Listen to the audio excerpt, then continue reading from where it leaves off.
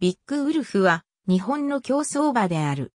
ユートピア、ナイキアディライトと共に2003年の3歳、ダート3強を形成し、同年のジャパンダートダービーを勝利した。2002年11月にデビュー。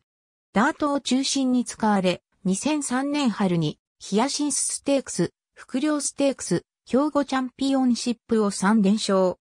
ヒヤシンスステークスは一番人気を寿司トレインに譲ったものの後続にキューバ審査をつけての勝利。兵庫チャンピオンシップは絶望的な位置からの差し切り勝ちであった。その後、ユニコーンステークスは6着に敗れるが、中11日で挑んだ名古屋優春を1分58秒6というコースレコードで優勝。440kg に満たない小柄なアフリート3区はユニコーンステークス勝ち馬のユートピア、南関東二冠馬のナイキアディライトと共に3歳、ダート戦線における三強と呼ばれる存在になっていた。2003年7月8日、3歳ダートの頂点を決めるジャパンダートダービーが大井競馬場で行われた。馬場状態は前日の雨が残りへ発表。一番人気はユニコーンステークスで敗れたユートピア。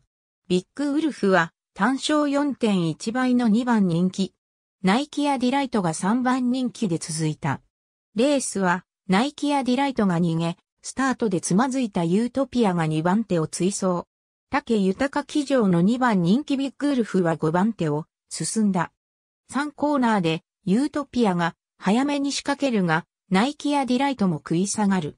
4コーナーでは人気3頭が後続を引き離し、それぞれが一馬身圏内に。直線残り200メートル。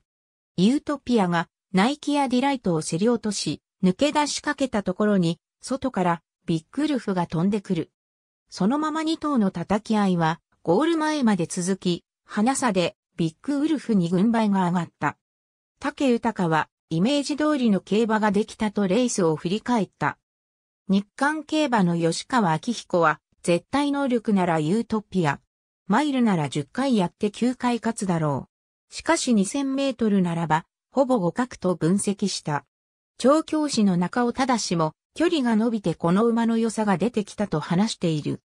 3歳秋には森岡のダービーグランプリで再びユートピアの2着に敗れ、続くジャパンカップダートを13着と大敗。その後も古馬相手に伸び悩み、ナイキアディライト、ユートピアの失速も相まって世代レベルへの疑問の声も聞こえた。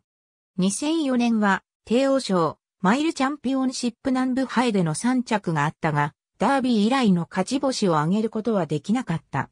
5歳となった2005年9月に、園田競馬移籍。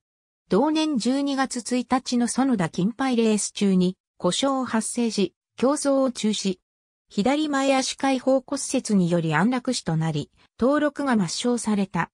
以下の内容は netkeiba.com に基づく。ありがとうございます。